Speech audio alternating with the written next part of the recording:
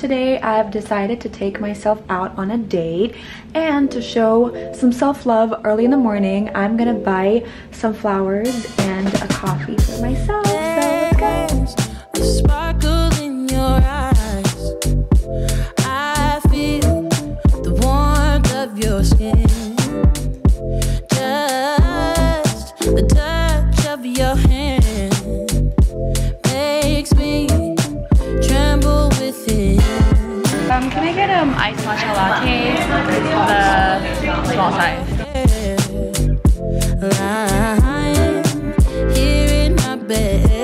one done. Got my coffee. Got my flowers.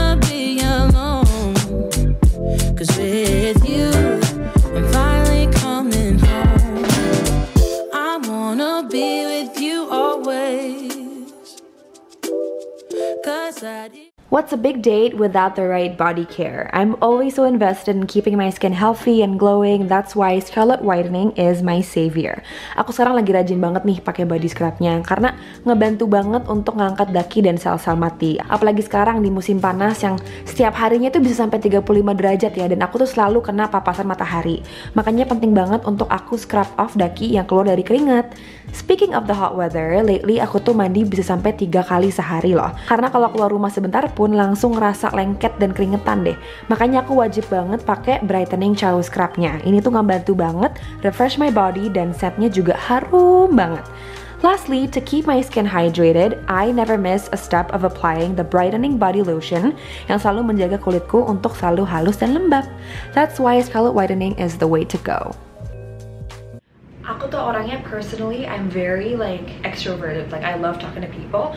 But at the same time I hate spending like too much time with people. I really really love my alone time. Dan aku tuh sebagai orang tuh nggak ada masalah sama sekali. And just like hanging out with myself. Aku tuh nggak ada masalah dengan kayak misalnya makan sendiri atau misalnya ngelakuin aktivitas di publik sendiri diliatin orang ya orang kenapa sendiri gitu kan. Aku tuh untungnya nggak malu gitu loh. And I feel like I should encourage that to you guys ya. Kayak kalau misalnya kalian tuh pengen banget ngelakuin sebuah aktivitas tapi kalian tuh nggak sempet sempet gara-gara harus nungguin orang lain untuk bisa juga gitu kan. Kayak if you just wanna do it like do it yourself like experience it yourself. I don't wanna be dependent on someone else to do something that I want something that I like gitu. Kalau gue mau ngelakuin sesuatu ya udah lakuin aja gitu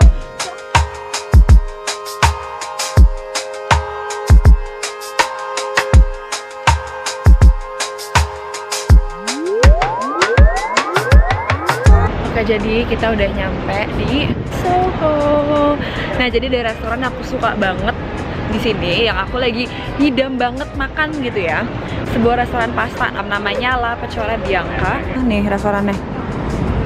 Aku suka banget pastanya, enak banget. Hi, can I have a table for one? Yeah, sure. Is it cool if it's outside? You want to be outside? Yeah. I know you're talking about the heat, but like, yeah. Hi there, how are you? Can I get you anything to drink besides water?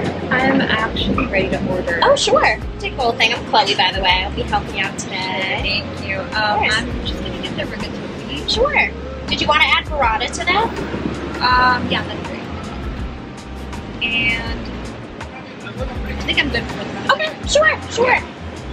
Alrighty, I can take that menu from you if you are all Oh, set, or maybe you want to yeah. hold on to it. Perfect. Okay, sounds Thank good. you.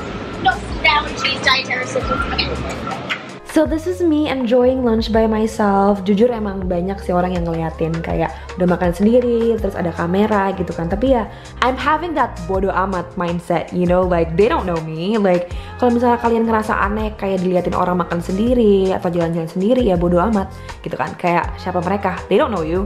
They won't remember who you are. They won't remember the situation ever gitu kan. Jadi kayak don't mind other people. Like forget about them, just enjoy you, you know.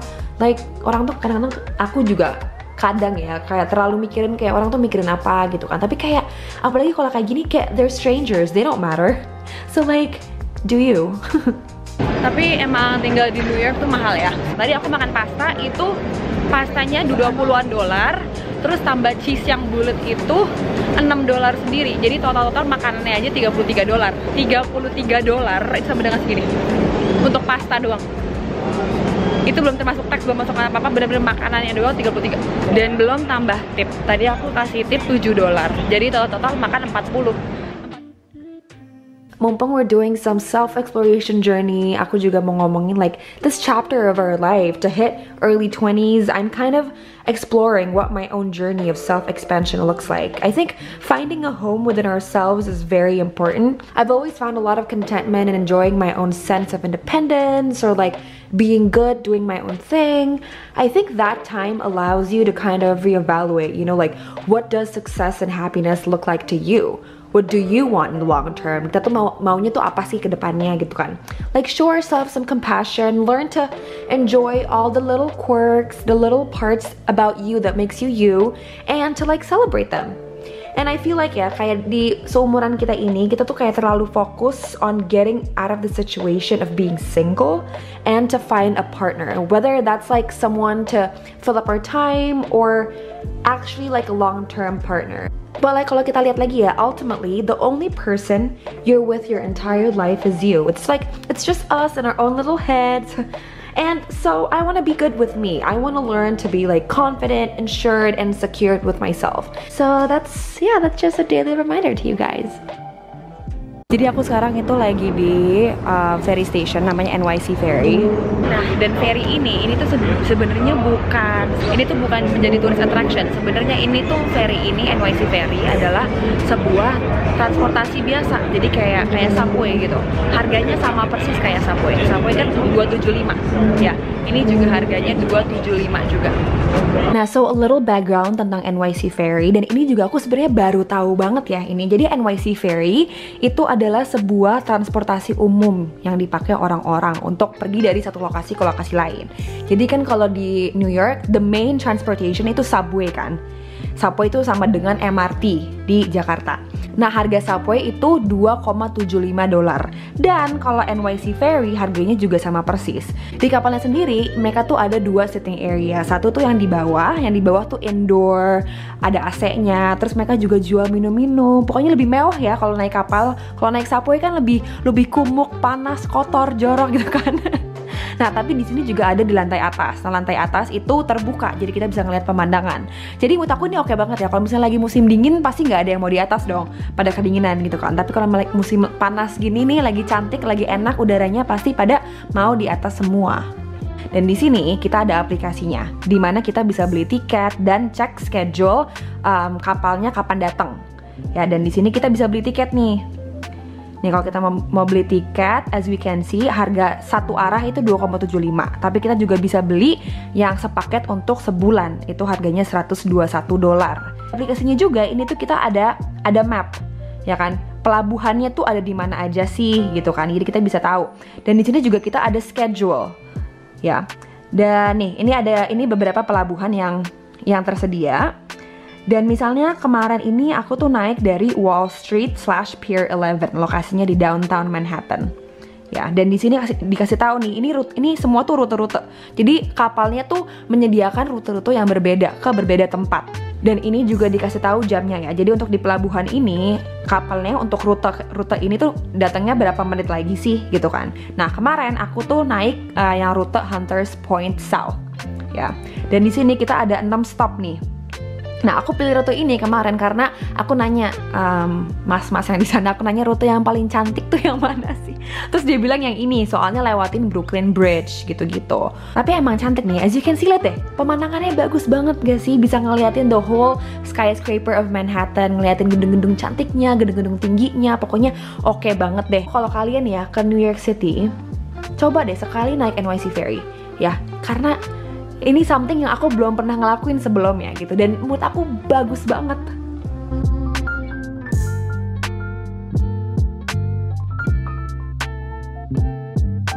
Oke jadi ini kita tuh ada beberapa stop gitu ya. Tadi kan naik jam 8 sampai ke stop terakhir itu kita jam 8.44 tadi tadi tuh ada sekitar kayak 5 stop gitu. Ini stop pertama.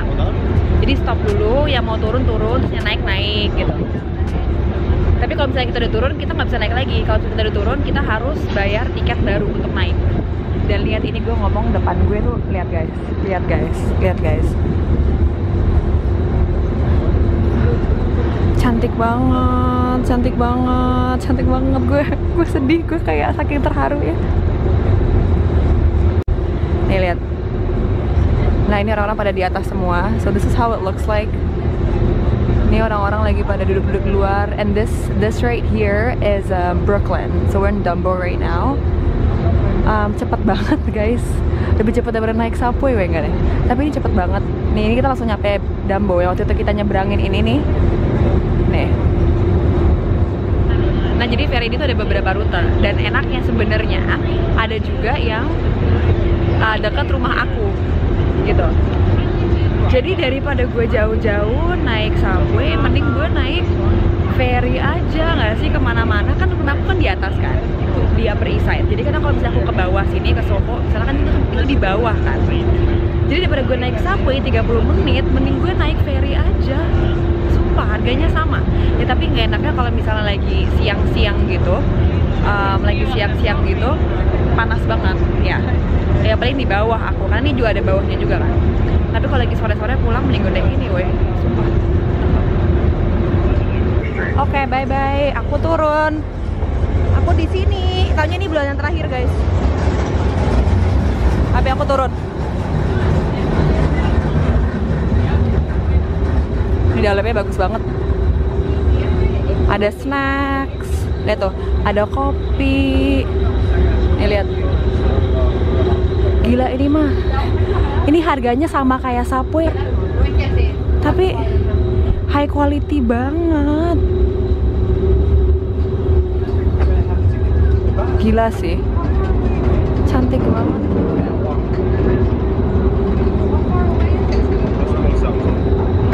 Hai.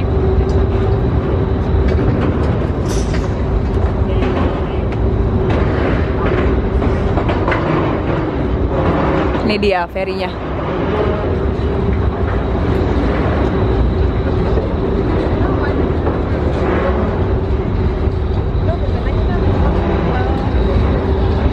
Ini dia ferinya guys.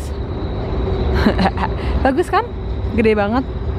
Lumayan. Nah, dari tadi tuh pas kita berhenti berhenti itu dari kita berhentinya di, di di sana di Brooklyn di sana tuh. Nah, abis ini mereka tuh ada satu stop lagi, satu stopnya di sana.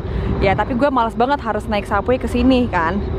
Jadi ya udah gue berhentinya di sini aja di Manhattan gitu, biar aku bisa langsung pulang gitu. Oke, aku udah turun. Gila gue kayak turis banget. Anyways, nah nggak enaknya adalah kalau misalnya deket air tuh jauh banget dari subway. Subway itu biasanya di tengah di tengah kota gitu kan.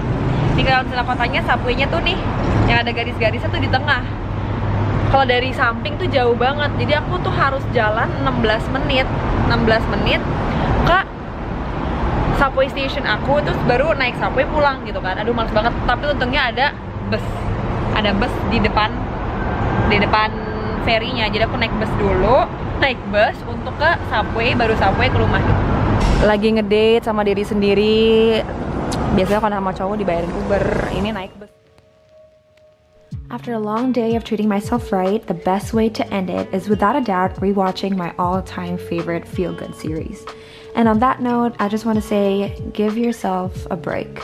Give yourself some love. Give yourself a pat on the back. And tell yourself thank you. Thank you for always fighting, trying, and conquering. No one can do you better than you. So, once in a while, I suggest you take yourself on a date. Screw waiting for other people. You deserve the best treatment. Thank you guys for watching, and I'll see you guys in my next video.